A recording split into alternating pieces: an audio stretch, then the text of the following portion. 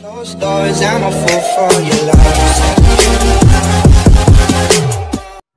दोस्तों, आपका मेरे चैनल में स्वागत है। दोस्तों, आज हम बात करेंगे जी के बारे में। जी हाँ दोस्तों जी की जो शॉर्ट फॉर्म है, इसका जो फुल फॉर्म है, वो है ग्रेजुएट फार्मेसी एप्टीट्यूड टेस्ट जी दोस्तों, आज हम बात करेंगे जी के बारे में। जी ये एक टाइप का एग्ज़ाम होता है ये एग्ज़ाम किस लिए दिया जाता है इसकी क्या रिक्वायरमेंट होती है वो हम आपको इस वीडियो में बताएँगे। तो वीडियो इसकी मत कीजिएगा और वीडियो इन तक देखिएगा। तो चलिए दोस्तों स्टार्ट करते हैं। तो दोस्तों जो जीपेट होता है जीपेट में एक्चुअली होता है जीपेट एक एग्ज़ाम है जो कि एक नेशनल लेवल एग्ज़ाम है। ये एग्ज़ाम जो है वो ए, उनके लिए ज़रूरी है जो कि फार्मेसी स्टूडेंट हैं या फार्मेसी कर चुके हैं। जी हाँ दोस्तों जिस जिन लोगों ने फार्मेसी कर लिया हो या करने की सोच रहे हो, या मतलब जैसे फार्मेसी की डिग्री जिसे कहते हैं B pharma bachelor of pharmacy उन लोगों ने, जिन लोगों ने बैचलर ऑफ़ फार्मेसी कर लिया हो या कर रहे हो तो उनके लिए बहुत ही ज़रूरी ये वीडियो है। तो देखिएगा इन तक। तो दोस्तों, जो जीपेट होता है, वो मेनली जो एग्ज़ाम होता है, वो होता है मास्टर डिग्री में एडमिशन लेने के लिए। यानी कि एम फॉर्म में एडमिशन लेने के लिए आपको जीपेट एग्ज़ाम देना पड़ेगा जीपेट के थ्रू आप एम फॉर्म में एडमिशन ले सकते हैं। तो दोस्तों, जो जीपेट है, वो एक टाइप का जो है, वो नेशनल लेवल एग्ज़ाम है। नेशनल लेवल एग्ज़ाम है, जो कि कंडक्ट किया जाता है ए के थ्रू यानी कि A I C T E all India counselling technical for education जी हाँ दोस्तों ऑल इंडिया टेक्निकल फॉर वो sorry council for technical education technical education जी हाँ दोस्तों, जो एआईसीटी है all India council for technical education जो ये जीपेट एग्ज़ाम है, वो एआईसीटी कराता है।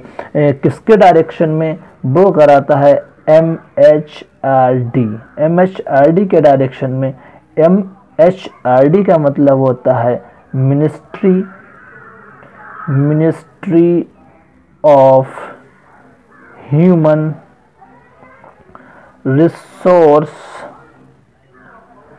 development development जी हाँ दोस्तों जो जीपेड एग्ज़ाम है, वो नेशनल लेवल एग्ज़ाम है मीन्स ऑल ओवर इंडिया में एक ही एग्ज़ाम होता है, वो ए कराता है all India council for technical education MHRD के सुपरविजन में, यानी कि ministry of human resource development ये जो टेस्ट है, वो किसके लिए होता है? वो फैसिलेट करता है इंस्टीट्यूशंस को सिलेक्ट करने के लिए सुटेबल फार्मेसी ग्रेजुएट्स जैसे एम फॉर्म एडमिशन के लिए जो बैचलर्स होते हैं जो लोग बी फॉर्म कर लेते हैं, जो बी फॉर्म वाले होते हैं बी फॉर्म कंप्लीट करके बी फॉर्म अपेयरिंग स्टूडेंट हैं, उनकी जो अच्छी क्वालिटी के जो होते हैं, जो मतलब अच्छे जो सुटेबल होते हैं, जो अच्छे स्टूडेंट होते हैं, उनके सिलेक्शन करने के लिए जीपेट का एग्ज़ाम करवाया जाता है और उनके थ्रू बी फॉर्म वाले जो स्टूडेंट्स होते हैं, जो बी फॉर्म कंप्लीट कर चुके होते हैं, वो आसानी से पोस्ट ग्रेजुएट डिग्री, यानी कि जो मास्टर डिग्री जिसे हम कहते हैं, मास्टर डिग्री में एडमिशन लेंगे, इसके थ्रू, जीपेट एग्ज़ाम के through, master degree means M pharm. M pharm में मोस्टली हम इसको कह सकते हैं कि जो जीपेट का एग्ज़ाम होता है, वो एम फॉर्म में एडमिशन के लिए होता है। एम फॉर्म जो प्रोग्राम है, एक मास्टर डिग्री होती है फार्मेसी की, उसमें एडमिशन के लिए जीपेट का एग्ज़ाम होता है। जो जीपेट एग्ज़ाम होता है, वो ऑनलाइन बेसिस पे है पूरा। तीन घंटे का एग्ज़ाम होता है। अगर इसकी हम बात करें एग्ज़ाम टाइम की तो ये थ्री आवर्स तीन आवर में होता है सीबीटी यानी कि computer based computer based test होता है, यानी कि ये ऑनलाइन एग्ज़ाम है पूरी तरीके से। ये ऑल ओवर इंडिया में हेल्ड ऑन किया जाता है। जीपेट जो है जीपेट में स्कोर के हिसाब से इंस्टीट्यूशन हैं, यूनिवर्सिटी हैं, कॉन्स्टेंट कॉलेज हैं, एफिलेटेड कॉलेज हैं, उनमें एम फॉर्म में एडमिशन मिलता है।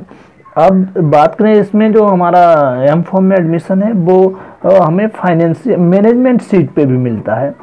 मैनेजमेंट सीट पे भी एम फॉर्म में एडमिशन ले सकते हैं। तो हम कहेंगे यहाँ पे जीपेट की क्या ज़रूरत पड़ गई? जीपेट के थ्रू ही क्यों हम एडमिशन लेंगे? मैनेजमेंट सीट पे भी हम एम फॉर्म में एडमिशन ले सकते हैं। लेकिन हम अगर जीपेट के थ्रू एग्ज़ाम के थ्रू लेते हैं, हम अगर जी टू जीपेट क्वालिफाई करते हैं तो उसमें जो होता है, हमें जो स्कोरिंग होती है स्कोरिंग के अकॉर्डिंग हमें वहाँ से स्कॉलरशिप मिल जाती है। जो गवर्नमेंट है, उससे हम स्कॉलरशिप ले सकते हैं। अगर जीपेट क्वालिफाई किया है तो स्कॉलरशिप भी मिल सकती है एंड अदर फाइनेंशियल असिस्टेंस वगैरह मतलब अदर फाइनेंशियल चीज़ें मिल सकती हैं। लेकिन ये डिपेंड करता है हमारे जी जीपेट में स्कोरिंग क्या है। स्कोरिंग के अकॉर्डिंग ये मोस्टली इसीलिए हम जो जीपेट है उसको एग्ज़ाम करते हैं। ये जो जीपेट का एग्ज़ाम है वो ऑल ओवर इंडिया में क्या था अगर बात करें हम इसकी एलिजिबिलिटी क्राइटेरिया क्या है? जीपेट एग्ज़ाम के लिए जो एलिजिबिलिटी क्राइटेरिया क्या है? तो उसके लिए हम आपको बता चुके हैं पहले ये एम फॉर्म में एडमिशन लेने के लिए जीपेट एग्ज़ाम कराया जाता है।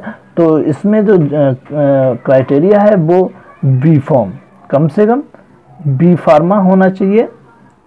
और कुछ लोग होते हैं जो डी फॉर्म करने का डायरेक्ट लेटरल एंट्री के थ्रू बी फॉर्म में एडमिशन लेते हैं बी फॉर्म कंप्लीट करते हैं, चाहे वो लेटरल एंट्री के थ्रू बी फॉर्म कंप्लीट किया हो, चाहे वो लेटरल एंट्री के थ्रू किया हो कंप्लीट बी फॉर्म तो वो लोग भी इसमें अप्लाई कर सकते हैं।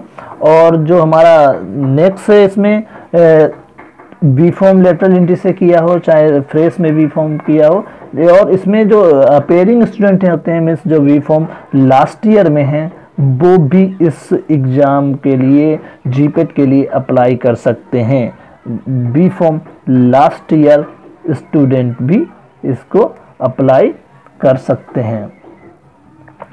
इसको अप्लाई कर सकते हैं लास्ट ईयर स्टूडेंट भी, और इसका जो अलग क्राइटेरिया जैसे जो लोग बीटेक किए होते हैं pharmaceutical and fine chemical technology से या इसकी इक्विवेलेंट एलिजिबिलिटी रखते हैं, वो जीपेट के लिए एलिजिबल नहीं है। यानी कि जो बीटेक के स्टूडेंट हैं फार्मास्यूटिकल केमिस्ट्री वगैरह से अगर किए हुए हैं तो वो जीपेट एग्ज़ाम के लिए एलिजिबल नहीं है। वो लोग जीपेट का एग्ज़ाम नहीं दे सकते हैं। ओनली वही लोग दे सकते हैं जीपेट का एग्ज़ाम जिन्होंने बी फॉर्म किया हो। बी फॉर्म करने के बाद आप जीपेट एग्ज़ाम के थ्रू एम फॉर्म में आसानी से एडमिशन ले सकते हैं। इससे आपको गवर्नमेंट से, हमारी जो इंडियन गवर्नमेंट है उससे आपको पूरी तरीके से हेल्प मिलेगी स्कॉलरशिप आपको मिलेगी। तो इसीलिए हम जीपेट का एग्ज़ाम देंगे भी फॉर्म वाले। तो दोस्तों, ये तो तरह कुछ जीपेट के बारे में। दोस्तों, मिलते हैं नेक्स्ट वीडियो में। नए टॉपिक है तब तक बने रहिए हमारे साथ और देखते रहिए। और मेरे चैनल को सब्सक्राइब करना ना भूलिए। अगर वीडियो अच्छा लगा तो लाइक